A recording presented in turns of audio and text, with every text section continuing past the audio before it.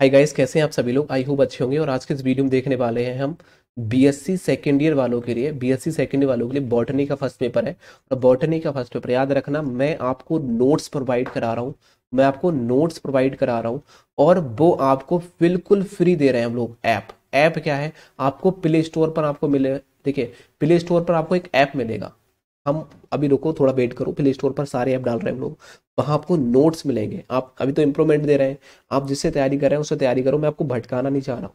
जिससे आप अभी इसमें प्रेजेंट में तैयारी कर रहे हो, करो। लेकिन जब थर्ड ईयर में आप आ जाओगे थर्ड ईयर में आप आ जाओगे, लेकिन उसके लिए बात करने वाला हूँ, तब आपको क्या करना पड़ेगा? उन नोट्स तैयार करना अच्छे से। बहुत बेहतर रहोगे। नोट्स बनाते रहना, कुछ जो चला है वो कर लेना, मुझे कोई फ़र्क नहीं पड़ा। आप पीडीएफ डाउनलोड करना चाहते हैं कि मैं पीडीएफ डाउनलोड कर लूँ तो उसका थोड़ा सा पेमेंट रखेंगे, ज़्यादा पेमेंट नहीं रखेंगे हाई फाई पेमेंट नहीं रखेंगे। लगभग में भाई पच्चीस रुपये पेमेंट रखेंगे। पूरे नोट्स को पच्चीस रुपये में हम आपको देंगे, पच्चीस रुपये में ऑलरेडी ठीक है? पूरे नोट्स को हम पच्चीस, ज़्यादा बड़ा पेमेंट नहीं रखेंगे, पच्चीस रुपये में आपको मिल जाएगा। यदि आप ऐप डाउनलोड कर लेते हो तो ऐप आपको वो फ्री होगा, कोई दिक्कत ही नहीं है। ठीक है? वो आपका ऐप है, वो फ्री होगा, कोई दिक्कत ही नहीं है। ओके इस बात को याद रखिएगा, कोई इशू नहीं आएगा। बाकी पेपर हैकर को आप चैनल को सब्सक्राइब करो BSc paper hacker BA paper hacker सबको। लेकिन जो बैक पेपर अभी जिस बच्चों ने डाला है बैक पेपर डाला है या फिर इम्प्रूवमेंट डाला है, ठीक है? इम्प्रूवमेंट डाला है और उनका 2021 में जो होने वाला है, अभी इम्प्रूवमेंट होने वाले हैं बैक पेपर होने वाले हैं, या फिर आपके किसी किसी यूनिवर्सिटी में एमसीक्यू क्वेश्चन हो रहे हैं तो उनकी पीडीएफ का लिंक डिस्क्रिप्शन बॉक्स में जाकर डाउनलोड कर सकते हैं, ठीक है?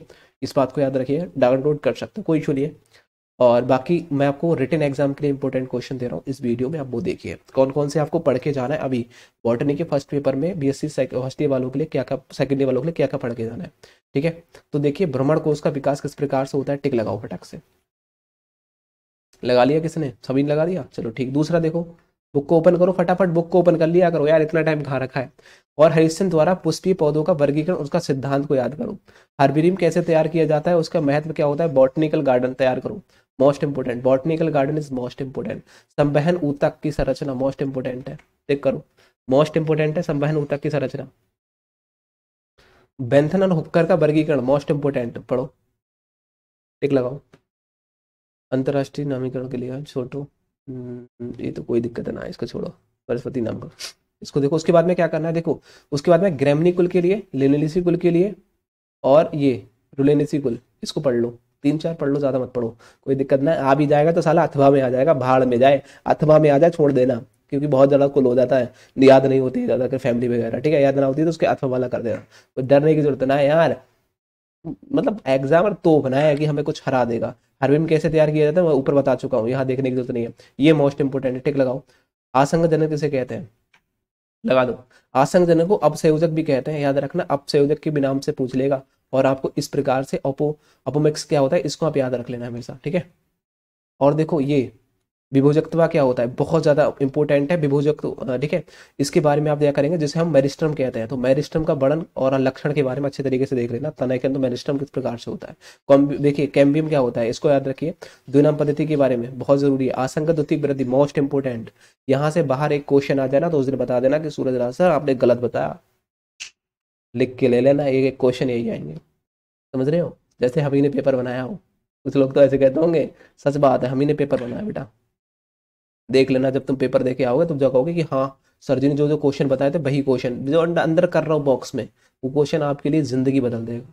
ठीक है? जरा अनुसार क्या होता है, इसको देख लो। और बहुभ्रणता क्या होती है, इसके महत्व क्या होते हैं, इसको देखो। इसको देखो। ठीक है? इसको देखो।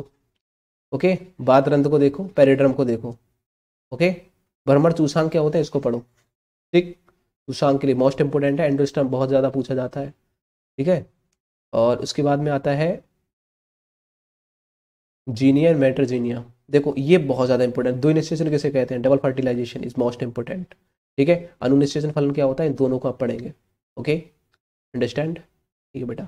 इसको देखो, एक संघ और द्विसंघीय पुगेंसर में अंतर क्या होता है? इसको पढ़ो। फटाक से टिप लगा लो। देखो, इतना टाइम ना है मेरे पास में कि मैं आपको बार बार वही चीज़ डिबेट करूँगा। देखो, ये बहुत ज़्यादा इंपॉर्टेंट है, ठीक है? फटाफट लगा लो। देखो, ये क्या होता है? बिलियन क्या होता है? इसको याद करो। देखिए अनिश्चित अनिश्चित जन कैसे कहते हैं? इसको याद करो। पराग और परागकण क्या होते हैं? परागकण और परपरागकण क्या होते हैं? इसको याद करो।